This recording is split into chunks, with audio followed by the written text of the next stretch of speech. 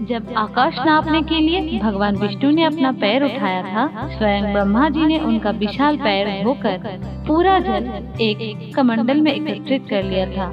उसी पवित्र जल को गंगा का नाम दिया गया और उसी कारणवश गंगा को ब्रह्मा जी का पुत्री भी कहा जाता है।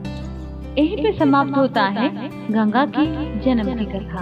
अब शुरू होता है माँ गंगा की धरती का यात्रा की कथा।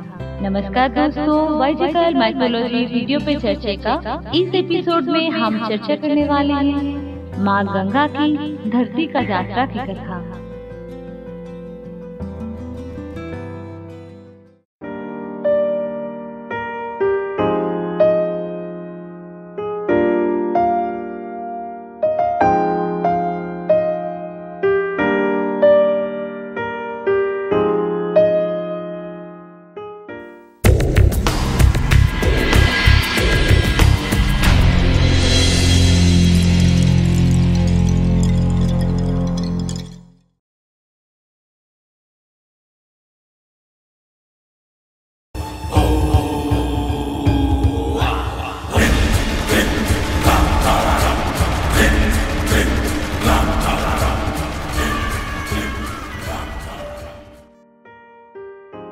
नमस्कार दोस्तों वाइजिकल माइथोलॉजी वीडियो पे चर्चे का इस एपिसोड में हम चर्चा करने वाले हैं माँ गंगा की धरती का यात्रा की कथा। और मैं हूँ आपका वाइजे आई महादेव का नाम लेके शुरू करते हैं गंगा की जन्म की कथा। अब शुरू होता है माँ गंगा की धरती का यात्रा की कथा। रघुकुल में बहुत ही प्रतापशाली राजाओं ने जन्म लिया। उन्हीं में से एक थे राजा सागर। उस समय राजा महाराजा अपने साम्राज्य का विस्तार के लिए अश्वमेध यज्ञ करते थे। इसमें एक घोड़ा छोड़ा जाता था और वो घोड़ा जो जो राज्य से होके गुजरता था, वो सभी राज्य यज्ञ करने वाले राजा के हो जाते थे। अगर किसी ने उस घोड़ा को रोका तो उसे यज्ञ करने वाले राजा के साथ युद्ध करना पड़ता था। ऐसे ही एक यज्ञ कर रहे थे राजा सागर। और अश्वमेध यज्ञ का घोड़ा भी छोड़ा गया था। तब देवराज इंद्र का ये डर था कि अश्वमेध यज्ञ का घोड़ा अगर स्वर्ग में आ गया तो स्वर्ग भी राजा सागर के अधीन हो जाएगा।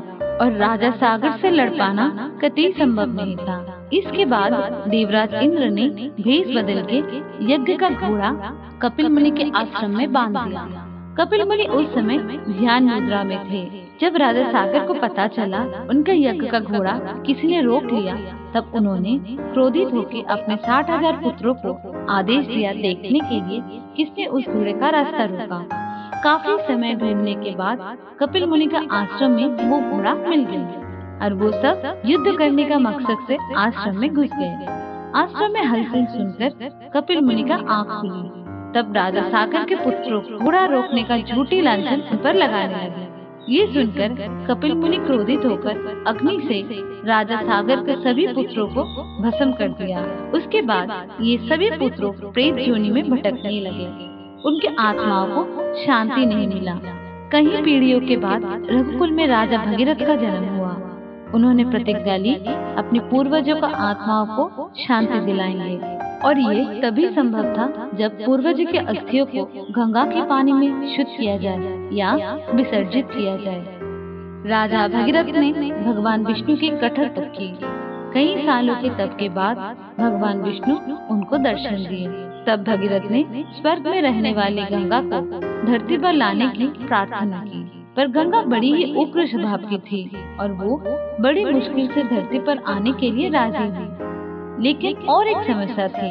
गंगा का बेग इतना ज़्यादा था अगर गंगा अपनी बेग पर स्वर्ग से धरती पर आती तो धरती पाताल में समा जाती और चारों तरफ़ तूफ़ान आ जाता।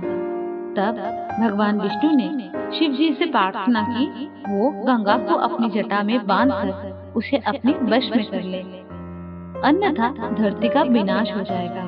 फिर जब गंगा अपनी प्रचंड बेग से धरती पर उतरी तो भयंकर गर्जना हुई। बादल फट गए। चारों तरफ़ तूफ़ान जैसा छा गया। तब भगवान शिव ने गंगा को अपनी जटा में बाँध दिया और अपनी जटा से एक पतली धार के रूप में पृथ्वी पर जाने दिया। और इसी तरह गंगा पृथ्वी पर अवतारित हुई। और वही धारा भगीरथ के पीछे पीछे गंगा सागर तक गई। जहाँ सागर पुत्रों का उद्धार हुआ। शिव के स्पर्श से गंगा और भी पावन हो गई। पृथ्वीवासी के लिए बहुत ही श्रद्धा का केंद्र बन गई गंगा। पुराणों के अनुसार स्वर्ग में गंगा को मंदाकिनी और पाताल में भगीरथी कहते हैं अब आपको बताते हैं गंगा नदी से जुड़ी कुछ अनकही बातों के बारे में। हम सभी जानते हैं धरती में गंगा का यात्रा शुरू होता है गोमुख से। परंतु एक नई रिसर्च के अनुसार गंगा का पानी मान सरोवर से आता है। और ये भी सोचने वाली बात है रिसर्च के अनुसार गोमुख का पानी और मान सरोवर का पानी का एलिमेंट एक ही है पर दोनों के बीच कई सौ किलोमीटर का अंतर है। इसी को परमात्मा का लीला कहते हैं। दोस्तों इस कथा को यही समाप्त करते हैं।